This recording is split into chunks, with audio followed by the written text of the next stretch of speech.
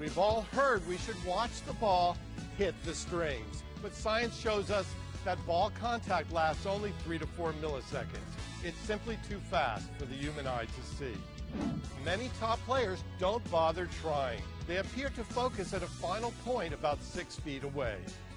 Ball speed doesn't get much slower than this. Even at this speed, it's impossible to actually see the point of contact. Also, turning the head quickly to try to watch the ball hit the strings can create a blur, making it even more difficult to focus. Whatever your style, the main point is to focus on the flight and rhythm of each ball coming over the net. That's probably what your coach was trying to get you to do in the first place. For more one-minute clinics, go to tennischannel.com slash OMC.